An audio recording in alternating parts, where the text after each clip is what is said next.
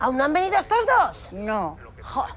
Espero que a José Mari se le haya pasado la tontada esa de los Josemaristas del séptimo día, porque vamos. Que sí, mujer. Ya sabes que José Mari tiene muy pocas ideas y son todas muy malas y le duran muy poco en el cerebro. O lo que sea que tenga aquí.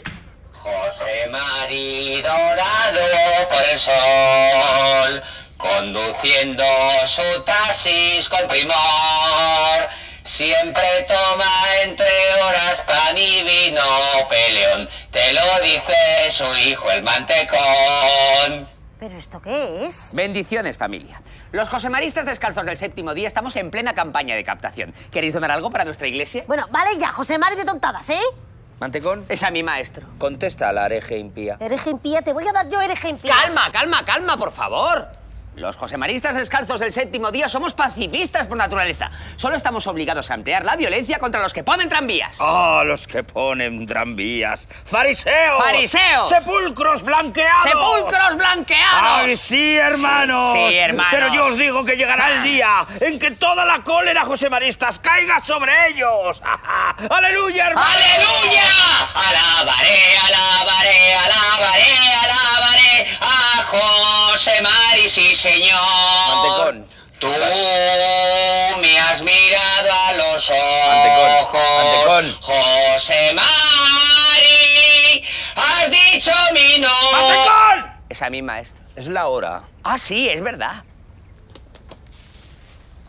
Pero, ¿pero qué es eso que estáis haciendo? Pues uno de los preceptos fundamentales del josemarismo. Nosotros extendemos siempre estas esterillas dos veces al día, a las 12 y a las 3. A las 12 nos ponemos a orar, eso sí, en dirección a la cooperativa del taxis.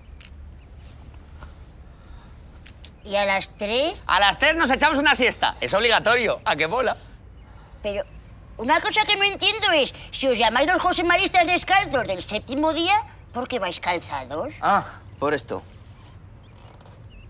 ¡Oh! ¡Qué horror! ¡Cálzate, cálzate! Ay, no hay más Dios. preguntas, su señoría. Bueno, venga, vale ya de la tontada. Va, venga, vamos todos a comer, por favor.